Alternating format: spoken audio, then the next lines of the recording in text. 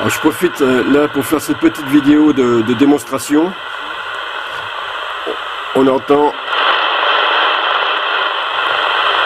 dans le, dans le, lointain du QRM, on entend un peu de CPL.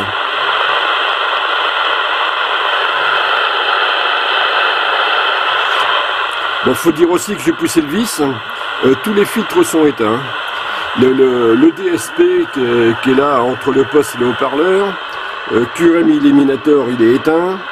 Les filtres du poste sont enlevés. Alors, je vais enclencher juste le QRM Eliminator.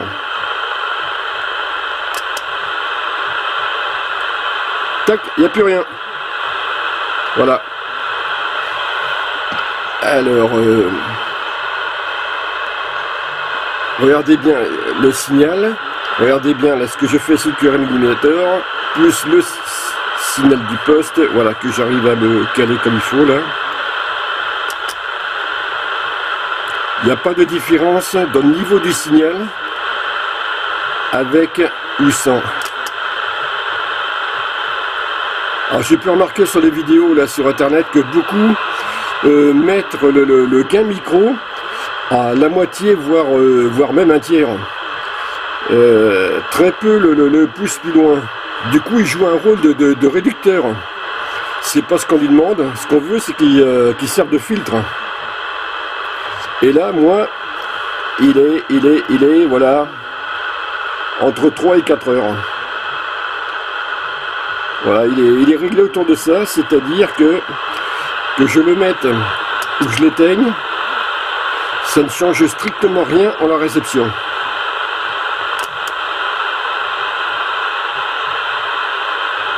Voilà. Là, il est mis. Là, je l'enlève. Il n'y a pas de différence au niveau réception. Bon, euh, le réglage du gain, c'est vrai qu'il vaut mieux le faire euh, très tôt le matin quand il n'y a rien.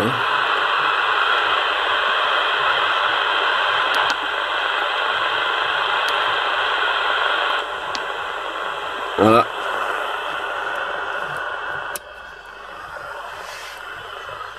Ah là, ça étrangle. hein.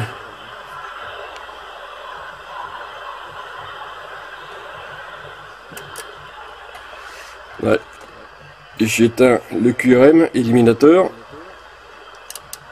Je le remets.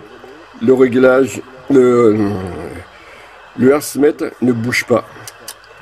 Il reste au même niveau.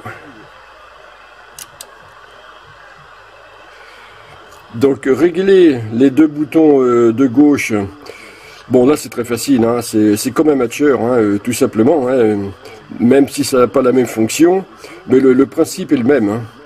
On, ajuste d'un côté, on réajuste de l'autre, et ainsi de suite, jusqu'à temps qu'on trouve le, point le plus bas. Voilà, et le, gain, eh bien, au moment où il y a vraiment, y a vraiment rien comme...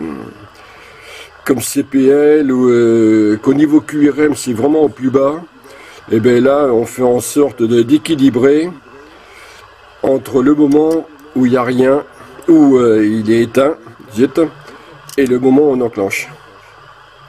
Donc euh, son réglage est des plus faciles. hein. Donc voilà pour cette, pour cette petite démonstration.